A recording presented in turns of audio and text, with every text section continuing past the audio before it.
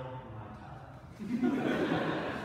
At least that's my expectation, but the brutal reality of the situation is that I'm often playing a piece that is longer than the attention spans of most of the people in this room. I'm not faulting any of you for this disinterest, because it's a boredom of classical music that I've seen in a lot of people, and that's including myself. It was a Saturday night sometime during freshman year, and I was at a Sarasota Orchestra performance of some symphony whose name I don't remember, but I do remember sitting there with the entire orchestra filling up the concert hall, kind of enchanting everybody around me, but I personally was trying not to fall asleep, seriously contemplating whether or not to eat a Reese's peanut butter cup and instantly send myself into a self-induced anaphylactic.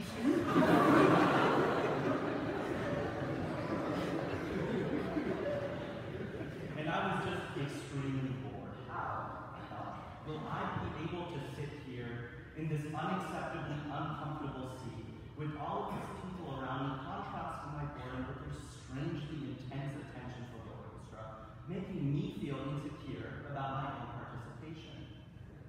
I managed to make it through the two-hour session, but afterwards, I asked myself a more biting question. How could I claim to love classical music and commit so much time to try and master it if I couldn't even make it through the real thing, the real professional thing? Started to feel like a phony. Like there were a bunch of people around me who thought that I was some kind of music enthusiast, when in fact I would have rather jumped off the top of the bandwagon and sit through an album. and so in an effort to redeem myself, I went to another Sarasota Orchestra concert, and this time I was frustrated when I started to battle and nap again. So I convinced myself to sit upright and started to zone out. And when I first kept falling into daydreams, I thought that I was cheating, that my lack of presence of mind was the same thing as falling asleep. But then I realized that the things that I daydreamed about, the images and moments in my life that I played out in my mind, largely corresponded to the music I was listening to.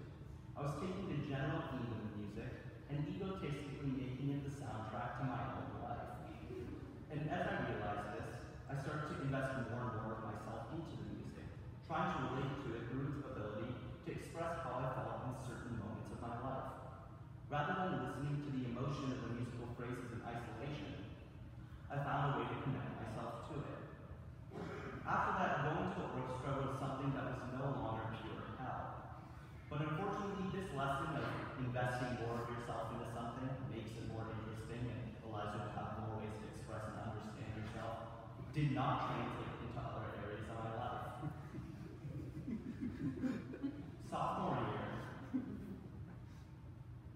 and I have to say that this is also the first time my parents are hearing about this. I played around a thousand hours of FIFA 16. which is an average of about three hours a day. and this figure of a thousand is thankfully higher than the amount of money I spent on in-game purchases, but probably not much higher and this is not even taking into account the unwavering commitment I have to my GTA 5 character. I'm bringing this up to show that despite my fancy parable music inspiring me to invest myself in a wholesome activity, I'm still a very long way from doing so.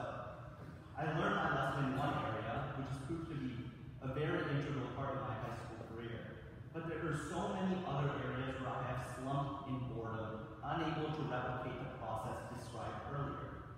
Reading, exercising, even being invested It seems sometimes like I'm gliding through my life, staying up to watch Black Mirror and then trying to do an hour worth of homework in Advisor, and realize that in doing so, I'm robbing myself of the ability to find what really speaks to me.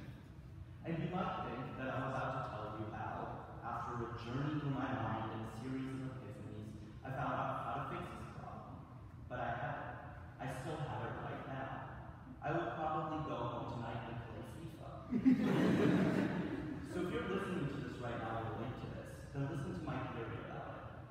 Most young people do not have a passion, and often they publicly fake it in order to have something productive to commit their time to. They do it for the sake of marketability. And although that's important, I do it myself, it's missing the mark of a genuine interest. So if you're like me, though there is almost nothing to, to, which you devote more time to than YouTube or Netflix or Zynga Online Poker. if you feel that all you do is put in the bare minimum because there is nothing tugging at you to put in more, just know that although a self-induced anaphylactic shock is always an option, I have faith in all of you and myself that we will find a